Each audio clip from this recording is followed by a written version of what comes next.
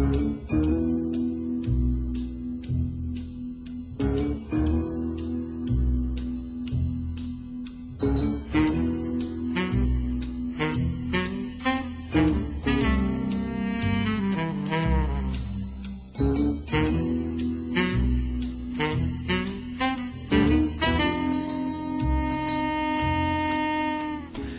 Good morning, Phoenix, and welcome to the House of Mystery radio show. This is the place to come for true crime, conspiracy, and alternative history. Only on KFNX 1100 Independent Talk Radio. We're here every Saturday morning, 6 to 7 a.m., and I'm your host, Al Warren.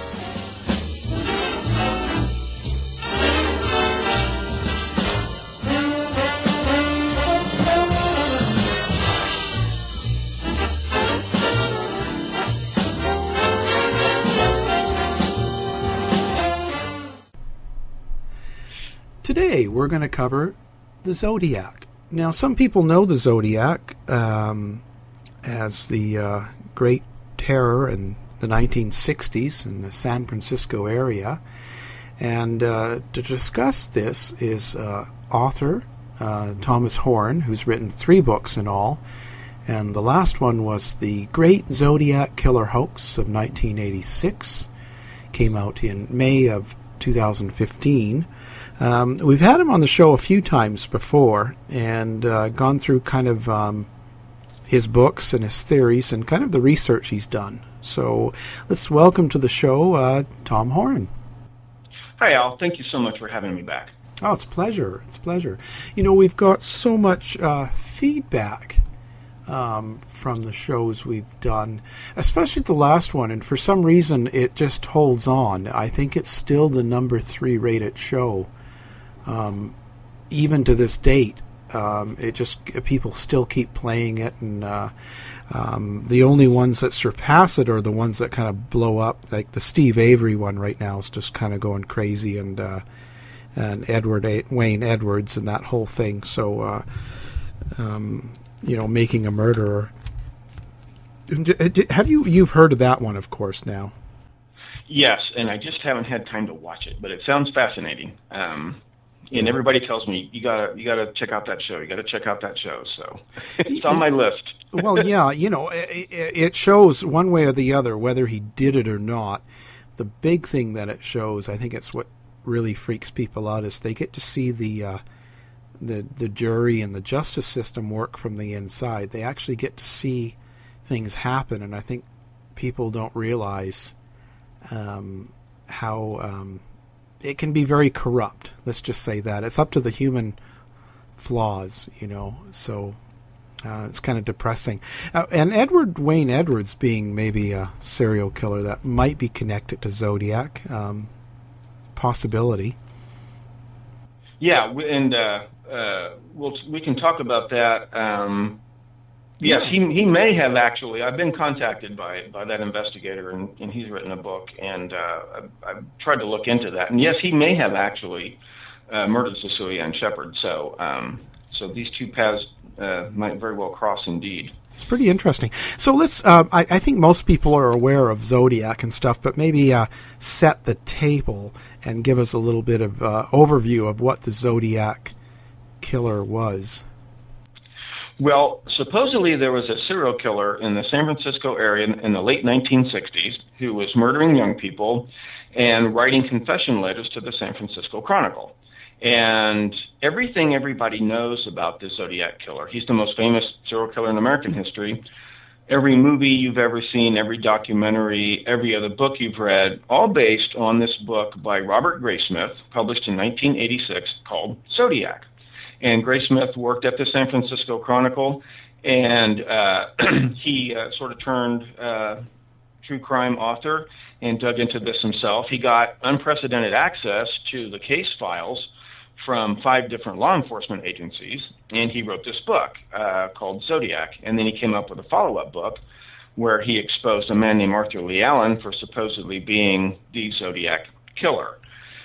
I was researching this topic as, as, an English professor, studying the letters as literature and studying their place in the history of newspapers and and uh, letters to the editor. They were literally letters to the editor of the Chronicle, and and just analyzing this phenomenon. And in the process of which I I acquired all of these original case files that Graysmith used to write his book. Uh, anybody can read them now. They're on my website. They're on a lot of websites. And I couldn't help noticing that Graysmith had lied about 80, 90% of of the material. He definitely had access to these materials, and he just relentlessly lied about the witnesses. He re- lied about the suspects, lied about the details in the crime, lied about the evidence. And what really intrigued me was he had lied about the authenticity of those letters. Supposedly, there were facts stated in the letters and other pieces of evidence that supposedly proved that the person writing the letters must have been the killer. And it turned out that not only is that not true, but Graysmith knew that wasn't true and lied about it anyway. So What I ended up think- writing I was just going to say, what do you think the point of him lying was? Like, what was his what was his uh, motive? Well, he has lied about his own life story and career. Uh, he tells the story that he was a cartoonist working at the Chronicle and simply became intrigued by these letters and these cryptograms. Some of the letters contained cryptographic messages, used symbols. There are some other symbols included in the letters, and he became intrigued by that and just sort of became fascinated and almost obsessed, which is a story you see in the David Fincher movie, Zodiac. It turns out that's not true either. Uh, he had been looking into this uh, from day one. He was apparently, um, there's a lot of evidence he was influencing these investigations. And there's quite a bit of evidence that he himself participated in not only hoaxing some of the letters, even even some of his biggest fans accused him of faking some letters as publicity stunts, but really in creating the hoax from the beginning. And for example, that very first cryptogram that sent in three parts to three different newspapers, there's a sort of an anagram of 12 letters at the end of that cryptogram. And Graysmith uh, came up with a decryption that supposedly spelled out, sort of kind of spelled out the name Robert Emmett the Hippie. Well, they actually spell out Robert Smith the Second, with using two I's for the second. And what's interesting about that is Robert Graysmith is not his real name. His real name is Robert Smith the Second. So there, he he may have created, helped create this from the beginning, just to be a big publicity stunt and something that, among other things, he could write a best-selling book about. You don't actually think that they're tied then? Um, the murders that all happened were not really one person. looking at the actual case files and the actual evidence collected about each crime and the actual witness statements, there's zero evidence of any connection between any two murders of any kind whatsoever, let alone any indication of a serial killer. In reality, the MOs are, are different, the weapons are different, some of, the, some of these crimes are very different. Um, contrary to what Graysmith claims in his book, there were actually very, very good suspects in each one of these murders. None of them were ever convicted, but there were very good suspects, and Graysmith knew that. And third, there was a lot more evidence collected from each crime, and that not only fails to show a connection, it tends to prove the opposite. There were finger, a lot of fingerprints found, none of the fingerprints match, uh, et cetera, et cetera, et cetera. The only and, and a lot of the facts that were stated in the letters were not only not true, um, but they were actually references to information that only someone who had access to these files would have known.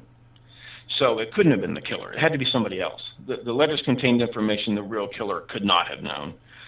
And the one piece of evidence that does seem to tie the letters to a crime are the, the three bloody pieces of cloth that were torn from cab driver Paul Stine's shirt in, in San Francisco.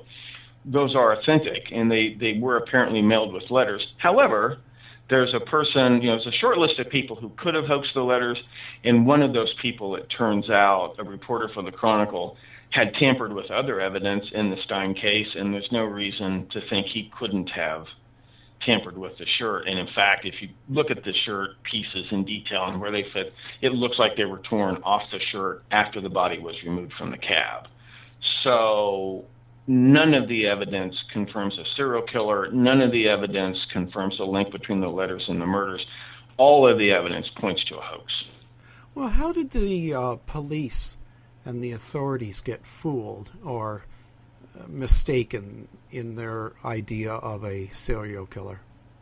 Well, in real life, um, most of them were not fooled, even not even from day one. Jack Stiltz, the chief of police in Vallejo, doubted the authenticity of the letters right away. Several reporters did, including Paul Avery. He began writing about the Zodiac case by publishing articles pointing out holes in the Zodiac theory. Uh, one or two police officers were kind of gung ho about the Zodiac story. They got their names in the papers, and they may have uh, they may have had darker motives that we'll we'll get to. Um, some new information has has come to light. But um, and as a matter of fact, not long after the Stine killing, October 20th, 1969, had a big conference. All the different police departments got together, shared their evidence, and a funny thing happened. The next day, uh, Keith Power is off the Zodiac story. Paul Avery is on. Uh, the next letters that come in, the handwriting is different, and Zodiac no longer even pretends to have any facts that are related to any real murders. So it looks like they not only figured out the letters were a hoax pretty early on, it looks like they may have even figured out who was doing it and quietly told them they better knock it off. How how do you find um, the other people in the Zodiac research area? Um, have most of them been pretty receptive to your thoughts? No. Um, and in their defense, everybody has relied on this book that Graysmith wrote, and they start from that. And they try to find suspects that fit that profile, uh, et cetera, et cetera, et cetera. And even the ones, uh, the most notorious are Tom Voigt and Michael, Michael Butterfield, who have had access pretty early on to these documents. Um, they've either ignored key evidence, sometimes they've lied about it, they're pushing their own pet suspects. But I, I think to a certain extent, they were fooled and they didn't like the fact that I came along and pointed out that, you know, if you'd read the documents that I found on your website, you would have figured out pretty quickly what I figured out that this whole thing was a hoax. And uh, what about the others? Like, um, I've had, um, like Steve Hodel, and um, I've had quite a few people um, that have claimed that you know, like their father or grandfather was Zodiac. And um, have you have you had any um, chance to research any of those? Well, speaking of which, there's this uh, Earl Van Best Jr. who is supposedly, and then his uh, his long lost son wrote a book recently. My daddy was the Zodiac, one of those books.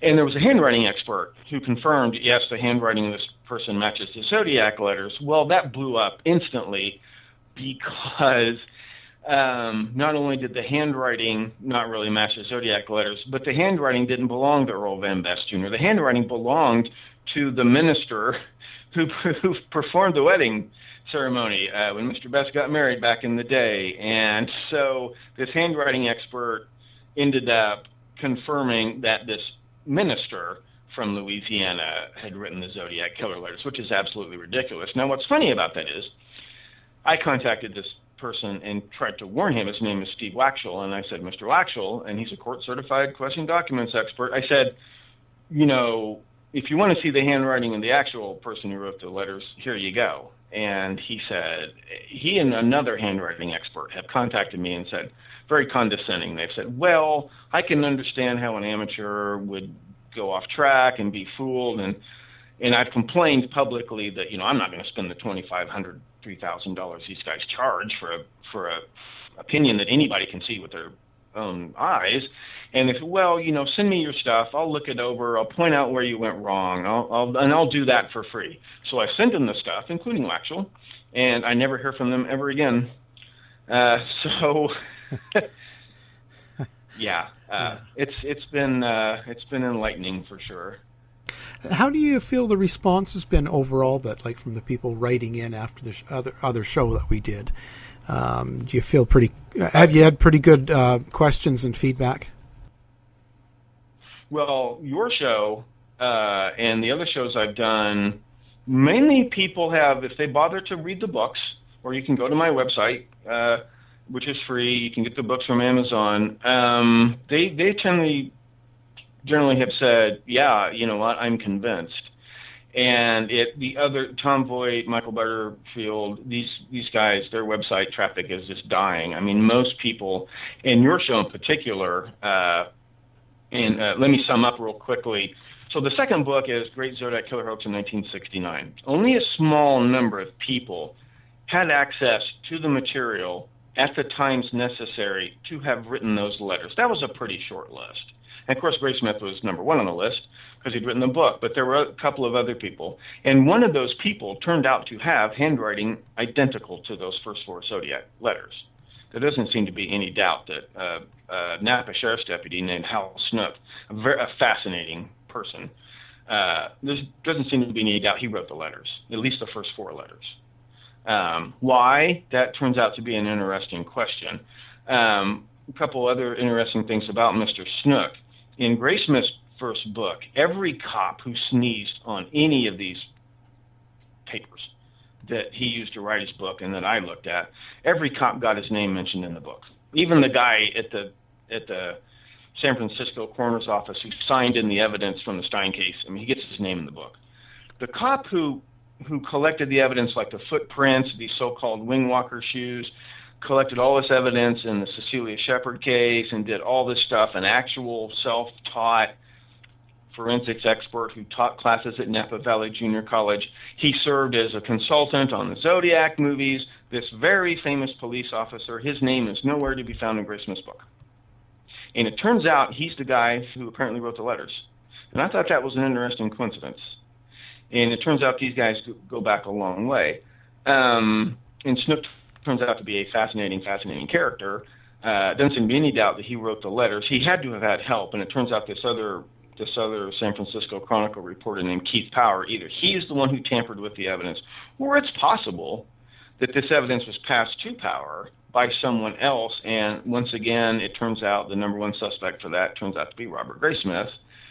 Um, well, as a result of this, and talking about this on your shows and other shows, especially your shows, fans of your show have contacted me with additional information. And it turns out that uh, all I could find out about Snook was he was this real straight shooter. He's a war hero. He got his uh, his journalism degree at San Jose State after World War II, and then then he, he he managed a couple of small newspapers in Northern California. Then he re-upped for the Korean War. He served as an officer in the Air Force in the Korean War. Got out, started a, a um, sporting goods store in Napa, where he met a lot of these people. And then he that didn't turn out too well, which is it's hard to run a small business. So he joined the Napa Sheriff's Department, became their in-house forensics expert, established their own forensics laboratory, and taught classes in criminal justice for many years at Napa Valley Junior College. I thought, well, why would he do this? Well, the letters, they're not just based on these case files, they seem to be calling attention to some corruption in the, in the police in Vallejo and Napa have always been notoriously corrupt. Some corruption going on. Suspects were being arrested for some of these murders, and they were either let go or they were being framed or whatever. And these letters kind of call attention to that. So I thought, well, maybe, maybe Snook was trying to do a good thing here, call attention to some corruption without actually getting his own head blown off or, or endangering his family. But it turns out I've you know there's more evidence about him. Uh, I found about his army service in World War II. It turns out that Hal Snook uh, didn't just uh, uh, participate in the jungle fighting. He was a member of an outfit called the 12th Infantry Division, which goes way back to the Spanish American War when the United States first took over islands like uh, the Philippines, and they're also known sometimes as the Philippine Scouts. He didn't just conduct guerrilla warfare against the Japanese Empire in World War II. He actually trained. He went behind enemy lines. Apparently, what these guys did was went behind enemy lines and they trained uh, local native uh, people to fight uh, fight guerrilla warfare against the Japanese. Now that includes, among other things, the constructing of roadside bombs made from diesel fuel and ammonium nitrate fertilizer and using triggering mechanisms which are identical to the ones that were detailed in some Zodiac letters called the bus bomb threats. So Hal Snook not only does his handwriting match the Zodiac letters, but also, and not only did he have access to these files at that time, he knew how to build a roadside bomb, exactly the way that they're described in the Zodiac killer letters. And he trained people to do this. um, he would have been trained in using uh, codes in ciphers, especially the simple type that you could you could teach to these native jungle fighters. He um, when when Cecilia and Brian were attacked at Lake Berryessa, Brian described a homemade knife that's identical to the a knife called a bolo knife that was used by these uh, guerrilla fighters on Mindanao. And even the this mention of um, the people I have killed will become my slaves in the par- in paradise in the afterlife. This is a cult uh, practiced by these jungle fighters that Hal Snook was training to fight the Japanese. Wow, that's a lot. Yeah, and and well, and in one of the letters, there, there, there are these bizarre misspelled words in the zodiac letters. Well, one of them is, is the word cerous. It, it, it's it's supposed to be a typo. It's supposed to be a misspelling of the word curious. I'm I'm mildly serious as to how much money you have on my head now. Well, it's spelled correctly. Uh, it's a chemical called cerous oxalate, which before there was Dramamine, there was cerous oxalate, which is a, uh, a medicine used to treat altitude sickness uh, and seasickness, and it was also used in the 1940s, 50s, 60s as an invisible ink.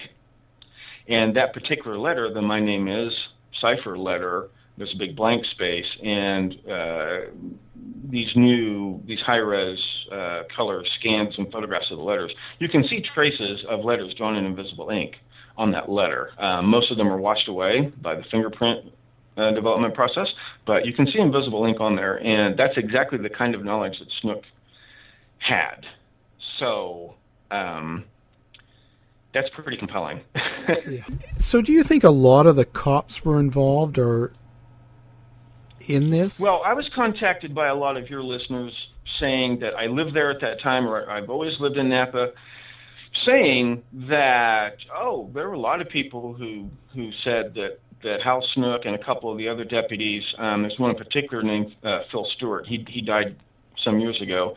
That Snook and Stewart and the Land brothers. Now it turns out that the key suspect in the Cecilia Shepard murder at Lake Berryessa was uh, Park Ranger Dennis Land who was the park ranger who found them, um, recently discharged from the Army in peace. And of course, his uniform would have included these um, uh, Academy brand uh, shoes made by the Weinbrenner Shoe Company, which they also happened to market under the brand name of Wing Walker. So these were his uniform shoes, same size, um, et cetera, et cetera, et cetera. Turns out he's the prime suspect in that crime and in some and in some other uh, crimes in the Napa area he and his uh, good friend um, Phil Stewart were very good friends of Hal Snook. Snook was a few years older than they were, and this is kind of an important link between them.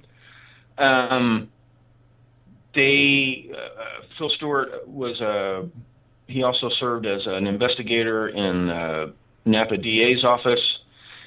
He became the district attorney in Napa. Uh, he's been accused for many years not only of corruption in the Napa Sheriff's Office, which has always been rampant there, but he's actually been accused by many adult men of having molested them when they were young men. And Stewart would, th- these boys would be arrested for shoplifting or vandalism or something. Stewart would, according to them, he would take them back to the police station, take them in a back room, molest them, and then drive them home and there there are a lot of them. And I've seen some of the videos that the statements that they've made. They're, they're pretty convincing. He also turns out to have been a suspect in the kidnapping and murder of little Doreen Heskett back in 1963.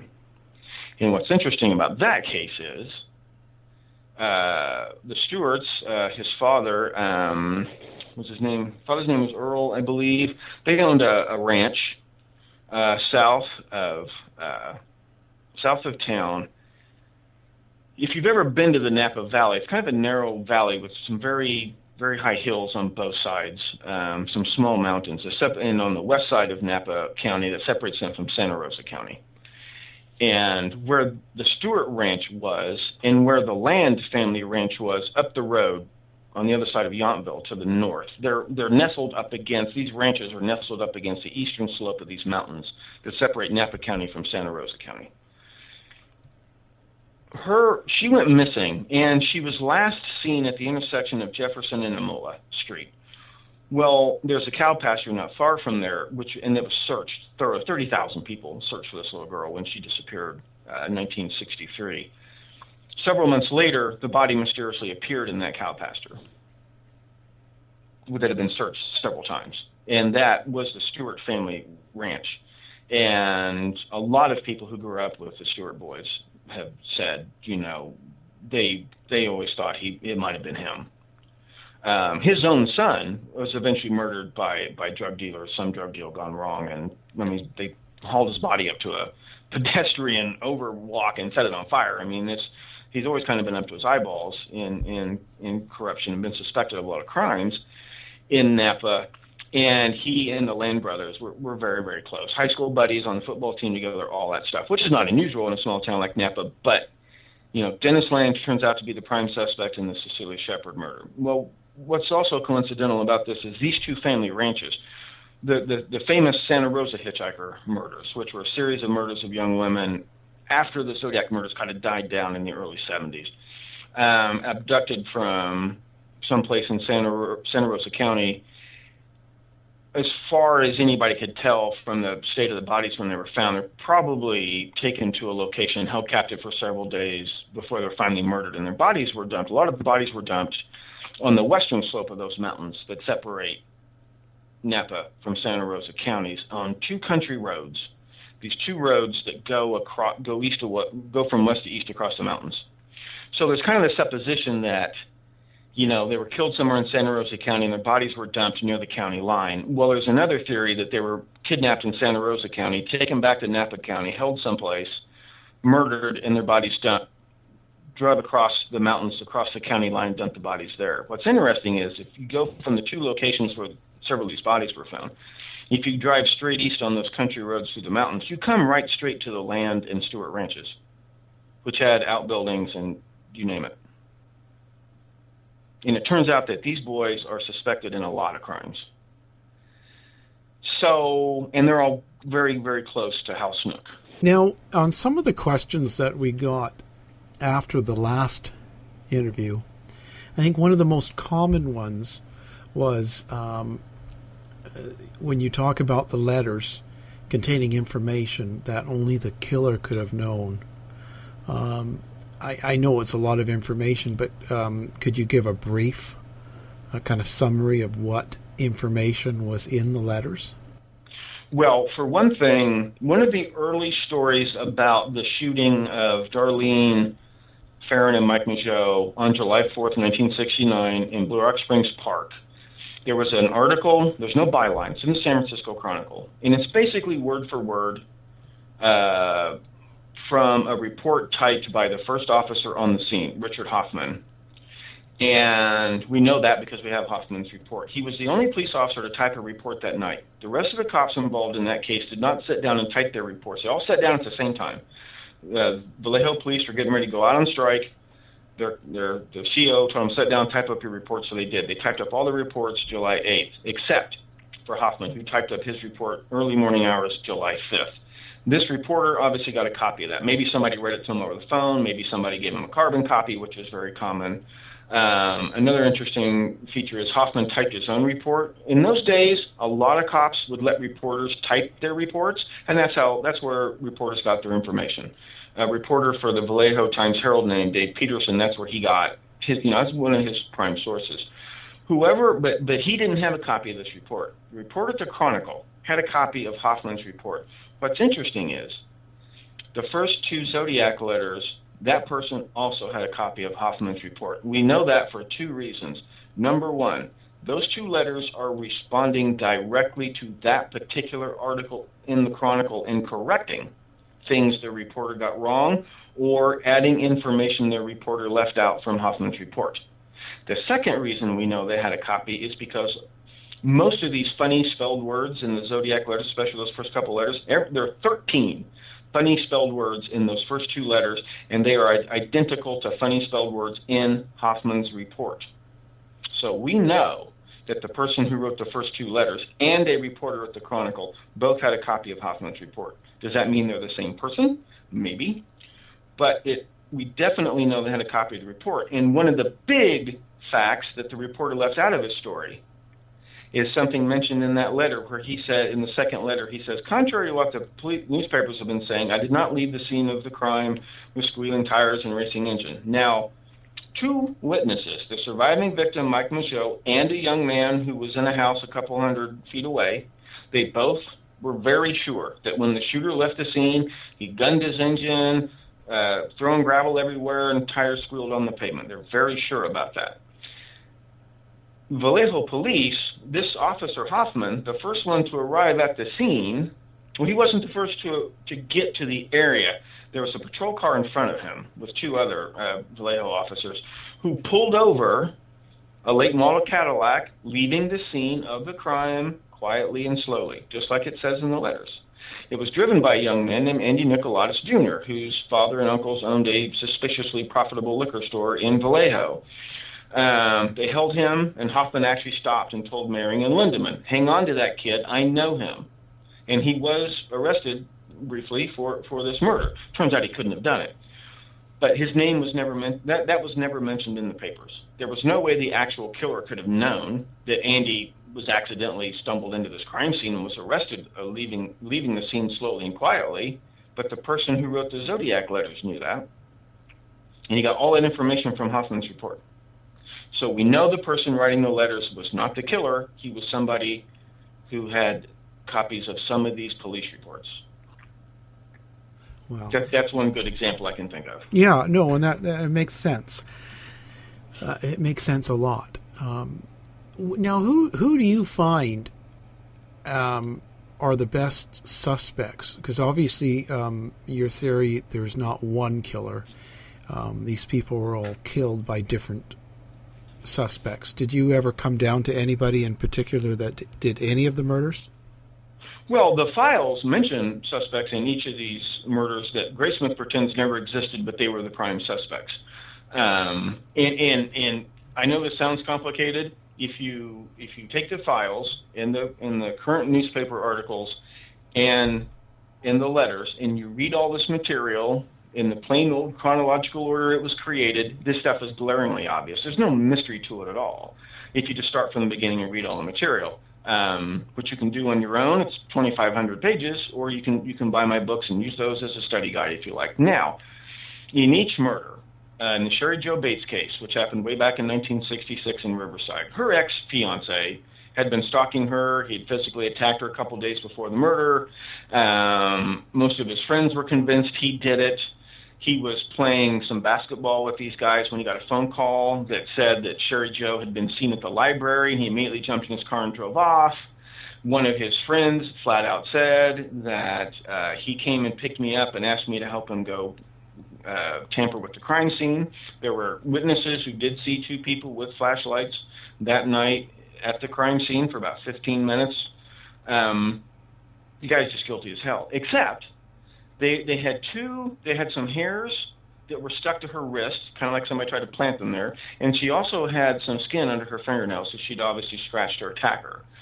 Well, they got DNA from the hairs, but they could not extract any useful DNA from the skin under her fingernails, and so this guy's DNA didn't match the hairs, and they couldn't test the skin, so they ended up never actually charging this guy. They've always believed it was him. His friends think it was him. There's never been much doubt it was him. Maybe it wasn't him, but Graysmith pretends this guy never existed. Um, in the next murder, uh, which was David Faraday and, and Betty Lou Jensen, and this kind of ties in with Snook and some of these crooked police officers. You know, a lot of drug dealing going on. Uh, in the same officers, their names keep Hoffman and his boss Villarreal, right, framing suspects. Well, the prime suspect uh, were some people who were convicted of another murder. They murdered a snitch named Ronald Leroy the year before. Um, and so they turn out to be the prime suspects. And in fact, the Benicia Police Department have always considered this case to be solved, and they've always considered these guys to be guilty. Um, but they, they were put on trial for committing another murder. Um, in the uh, Mike Mageau and Darlene Ferrin case, this is very interesting. The two prime suspects early on would be Darlene's ex husband, James Phillips Crabtree. And another young man who some of Darlene's friends thought she might have been romantically involved with, named Donald Warren Porter. Now, and Porter, uh, a pretty dangerous criminal in his own right. On the night of July 20th, 1969, Villarreal had set up in, in his in his uh, informant David Walliot, uh, who was uh, indicted in absentia for another murder, set up the this guy to be arrested at midnight at Ott's house. These two guys show up. Ott was dealing meth, and his his mo was he would trade drugs for stolen goods. These young young kids would bring him stolen radios and things. He would pay them off in drugs, and then he would sell the sell the. He had a fence. This was his mo, and there are quite a few clues, some statements that Darlene's brother had made and other people that she and Mike had actually gone to the park Mike was dressed like a burglar. I mean, and he had a record for theft. They'd gone to the park to make one of these deals with Ott to trade some boosted goods for drugs, and that's one possible thing that happened that night. Well, this guy that apparently got framed for this murder, two guys show up at Ott's house named Donald Warren something. Uh, I haven't been able to confirm that name, and James Phillips something, supposedly Flowers. So the two prime suspects in the Ferrin murder are named Donald Warren Porter and uh, James Phillips Crabtree. Two guys get framed for this murder named Donald Warren something and James Phillips something. That's quite a coincidence. And this Donald had a pistol in his pocket, a P-38, and he and he knew he immediately he he tells James he says I'm going to be booked for murder. And he was taken back to the station. He was booked for Darlene's murder. They sent the pistol off to the state crime lab for ballistics check and there are about four pages of these files that are still not been released and that's one of them the results of that test. And the only excuse and it's it's mentioned in the when the FBI releases these files is they'll have they'll check off a box the excuse for not releasing a certain page and that box is marked you know, would violate. There's no way they can black out enough information to protect the identity of a suspect who's still alive. So apparently, that pistol did come up, you know, a possible match for the murder weapon. But it seems kind, it seems odd that you know this Donald Warren guy, he wasn't Donald Warren Porter apparently, was never formally charged. However, that's just about the time the first zodiac the first zodiac letter shows up a couple days later. So were, were they intended to give him an alibi because he couldn't have written the second letter, right?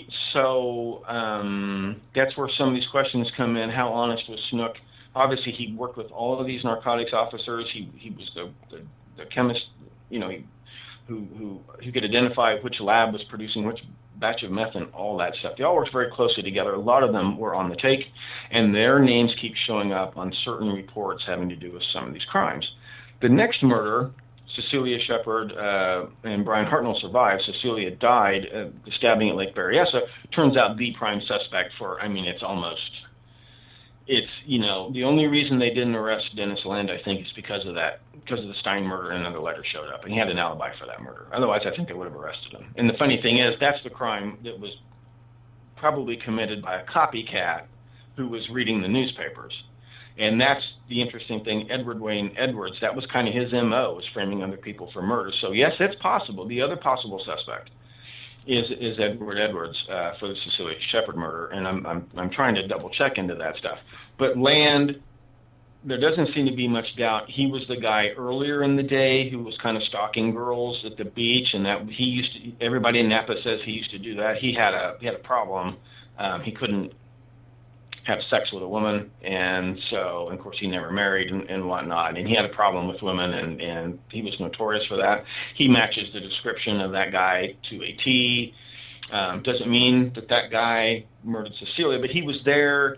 He, the murderer apparently parked on the dirt road between the highway and the beach, and in those days, you could only access that dirt road through locked gates, and, and Dennis, as a park ranger, had the keys to that gate.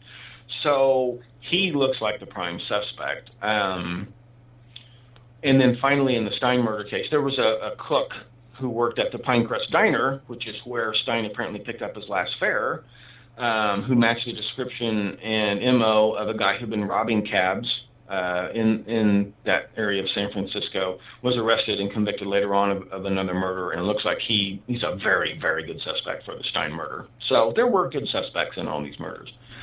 And and how do you feel about um, when you you were mentioning how you've got new evidence um, with a lot of the people that have written in, and um, what's kind of the most uh, appealing of the new evidence for you? Well, there's this big mystery. Why would Hal Snook create a hoax like this? And that's kind of tied into, you know, there's this other possibility. These letters were written to give people alibis for murders, create a false identity. There were people who contacted me and said, "Oh yeah, there were rumors for years that that Hal and Bucky, this Bucky Stewart, Phil Bucky Stewart, Hal and Bucky uh, and Dennis were involved in a lot of nefarious stuff, and that they were rumored to have been either been the Zodiac killer amongst them, or or so other people said, yeah, you're right, the letters were a hoax, and a lot of people knew it was Hal Snook and his buddies. There's also there were also friends with a couple of reporters who were important. There's Pat Stanley, who was a radio reporter at station KVON in Napa. He claims to be the guy who found the phone booth where supposedly Zodiac called Napa police and he left the phone off the hook. And there was no technology in those days to directly trace the call. The operator knew the call had come from a payphone, and so police went from payphone to payphone in Napa looking for a payphone with the receiver off the hook. Well, Pat Stanley said he heard this over the radio, the police were band radio, and he, he went looking, and he happened to be the first one to find this phone booth. Phone booth, and he's always bragged about that.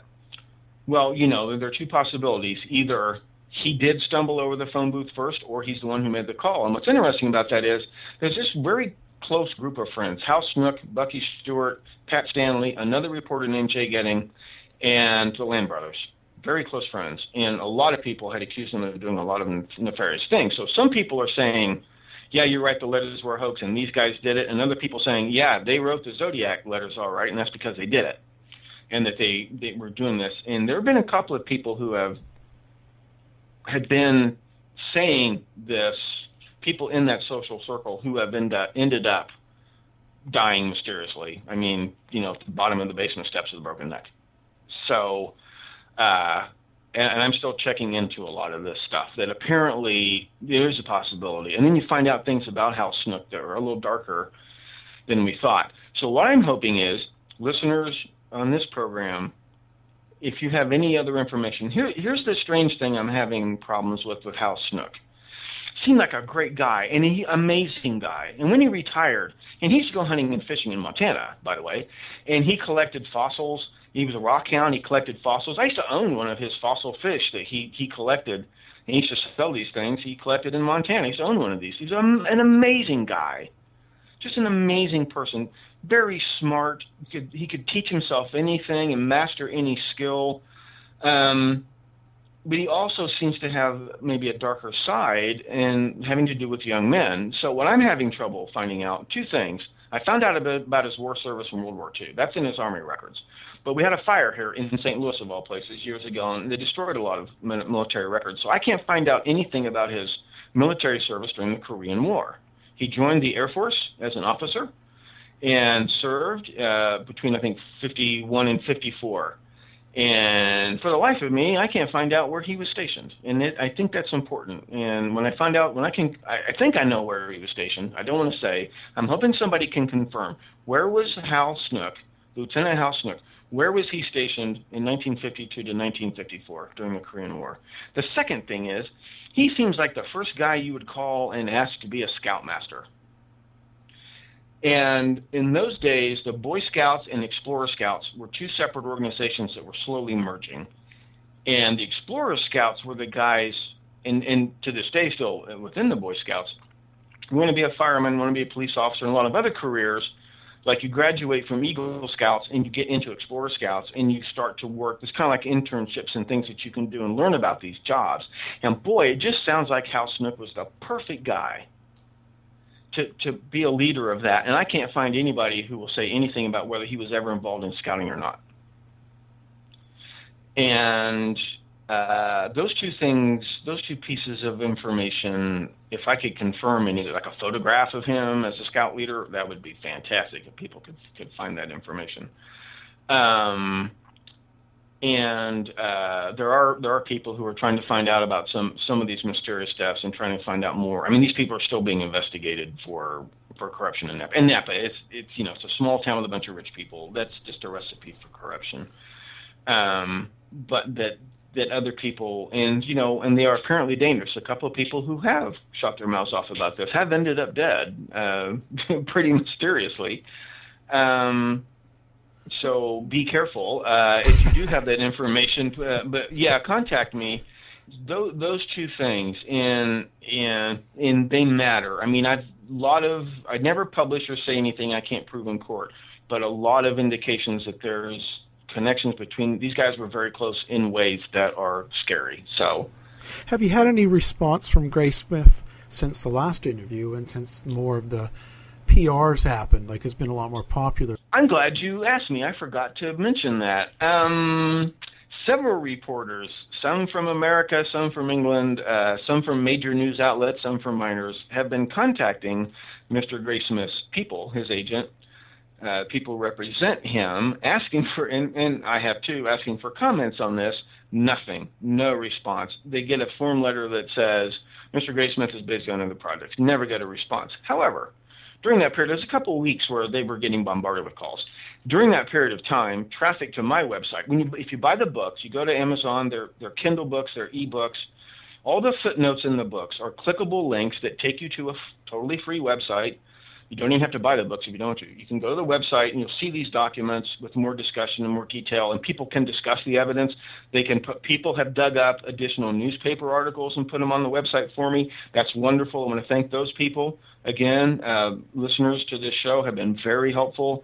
Uh, anyway, you can go to the website. Well, um, traffic to that website hit an all-time high for about a week after Graysmith's agent got bombarded with these questions. So I'm thinking they did. And here's the thing he can't sue me for libel because everything in the book, it isn't just I can prove it's true, I can prove he lied. And they have no case for libel. He could technically complain about me doing block quotes, you know, big sections of his book without actually having permission from him to do that. Since it's I'm debunking his book, that might be fair use. My my my attorney's not 100% sure about that, but it's obviously not going to do Mr. Graysmith any good to call any more attention to my books than than absolutely necessary. So I'm pretty sure they know, and I'm pretty sure they have decided to, there's nothing they can say or do. Yeah. Well, so do you think we'll ever get a resolution in this case? Do you think people will ever settle on one one theory? There are, as suspects die, the FBI will, will release more of these pages. That might help, and also I think, you know, you, you can.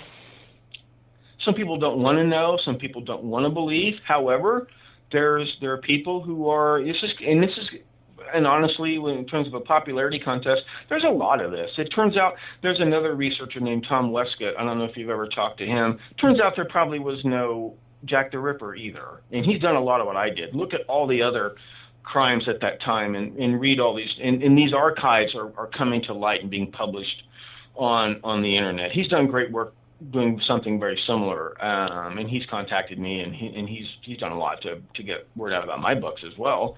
Um, probably same thing with Jack the Ripper. These big mysteries turn out to be, you know, they're not mysteries. Uh, it just turns out that either there's bumbling or corruption, or people have lied about it. So that's that that's getting to be, and like like this making of a murderer series, right? Debunking these cases and exposing holes in the system, it's becoming more and more popular. So I've been getting more and more and more and more, you know, just, just thumbs up fan mail from people saying, "Hey, great job! I think you you know keep it up, keep up the good work." And uh, uh, so I think more and more and more people um, are, are, are becoming interested in this, and that gives me, you know, gives me a lot of hope actually that because there's no doubt that these zodiac letters did screw up a lot of cases, even if even investigators who knew the letters were fake. What are you going to tell a jury? I mean, how are you going to, you know, what I'm saying? Like they really screwed up, and specifically uh, uh, the the Ferrin case, right? It Looks like they got a suspect out of jail. So um, it does a lot of damage, and and there's nothing wrong with journalism, but but you know, and it's one thing to make a mistake. It's another thing to just flat out lie, and and and cause so much confusion. The, witnesses tried to sue Graysmith and his publisher. Uh, victims' families um, tried to sue. Sometimes they settled out of court. Sometimes you know they couldn't they couldn't subpoena these documents at that time.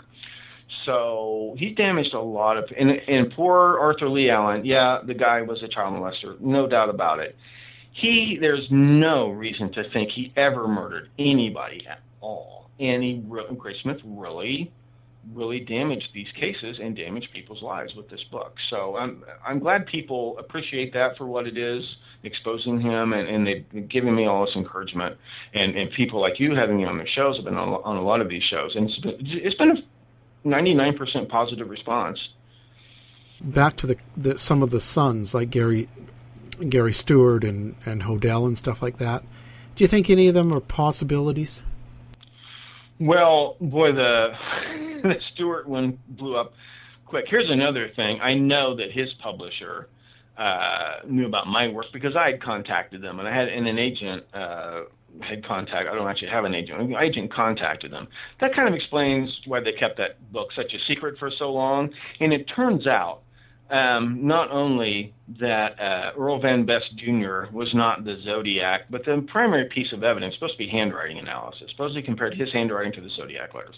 Well, I contacted uh, Mike Wakshull, the handwriting expert who delivered that opinion, as quickly as I could and said, hey, you know, before you go making a fool of yourself, because he actually testifies in court all the time. He's a court certified question documents examiner. And if his credibility blows up, a lot of cases that he has testified in could come come up from appeal. So I've contacted him and said, hey, you know, I know you haven't heard of me yet, but here's the handwriting of the person who wrote the zodiac letters. Well, he didn't know what to say at first, and then he um, finally he and this some of this was public, some of it was private, some of it's on his Amazon page, wrote his own book he said, "Well, you know, send me your materials and all your materials, and I can understand how an amateur might make this mistake, and I'll I'll show you where you went wrong, and I won't charge you. You know, I, I've complained that these, you know, people say." What about handwriting experts? And I say, well, they charge three thousand dollars a shot, and I'm not going to spend that money on something that people can see with their own eyes. And so he and another handwriting expert both offered very graciously and condescendingly to show me where I went wrong. I send them all the materials, and I never hear from them ever again. And you can actually go to Michael Wakshull's uh, W A K S H U L L, uh, his Amazon page, and see where that thread goes nowhere. never ever heard back from him ever again. So, um, and and it turns out, uh, and I think Tom Voigt is the one who debunked that. Took him less than a week. The handwriting that this handwriting expert said belonged to Zodiac didn't even belong to Earl Van Best Jr. It belonged to a minister who filled out a wedding, a marriage license. And and Wakshull's excuse was, well, you know, it turns out uh, I, I just went by what I was told, and I said, well, you looked at the other handwriting samples, and couldn't you even tell that they came from two different people?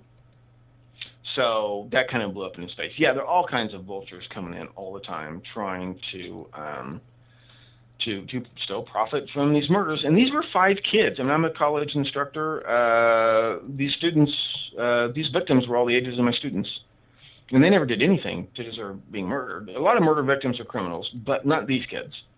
And there's something, you know, and people beginning with Graysmith have just profited and profited from this. And there's something wrong with that. So I'm hoping that. Um, and these things are, you know, the, their life cycle is getting shorter and shorter and shorter. Partly because I've noticed people going to before I get there and saying, "Hey, you know, by the way, the Zodiac killer was a hoax, and here's some books you ought to read." So, yeah, we're making progress. We're making progress. well, that's fantastic. So now, um, how do people find out the information? Like, uh, do you have any blogs, websites, or uh, anything online right now?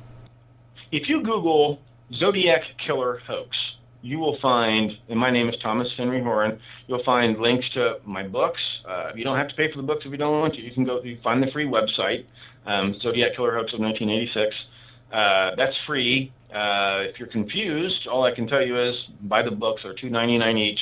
The one that's called The Myth of the Zodiac Killer, that's more of a scholarly work that puts this in perspective in the history of not just serial killers, but serial killer books like like uh, the Boston uh, Strangler book. Um, you might not like that book. I would start with the Great Zodiac Killer Hoax of 1986. That's a page-for-page debunking of Ray book. Then, when you realize there was no Zodiac Killer, then read Great Zodiac Killer Hoax of 1969, where I show how the letters were written, who wrote them. There, you can see the handwriting of, of Hal Snook's handwriting compared to the Zodiac. It's a perfect match up and down. Um, or yeah, you can and you you know you can listen to other episodes of of Al's shows. There, there's some other shows out there, podcast, radio shows that, that you can listen to. Um, and my emails are easy to find. And if you want to read the files for yourself, um, there's a website, there's a Flickr account, and these things are free. I don't own them or if you just email me, if you go to my website and, and PM me with your email address, I'll email you a zip file that has all, you know, we're talking several thousand pages, but you're, more, you know, I've got them organized. I've labeled them. I put them in chronological order, which nobody ever did before. Um, those are free. Um, the only thing I charge money for are the books. Everything else is free. Well, so what's next for Thomas? Well, I was intent. I've, I've starting to dabble in this Jack the Ripper stuff since Tom Wescott blazed that trail, and uh, especially looking to Pauline Nichols' murder. I'm looking at it again as you know. I'm a journalist and, and a professor. Watching the new now that we have all these newspaper archives that have have been discovered and scanned, watching that story evolve. How again, unrelated murders, and suddenly the media decide these are all being committed by the same person. Um, and it turns out I've got more, more, you know, uh, your listeners and, and other people, God bless you, are are coming up with more information and more tips. And so who knows, there, there may be a fourth book here. Some of these people are currently under investigation still. I mean, they're they're getting up there in years now, but some of them are under investigation now.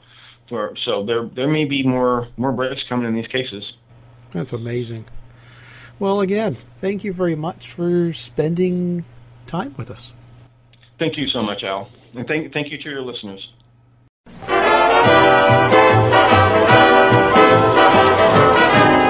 The mission has been completed. The end! By George, he's got it! It is the end! I'll say it. This has been a production of the Z Talk Radio Network. If you're lying to me, I'll be back.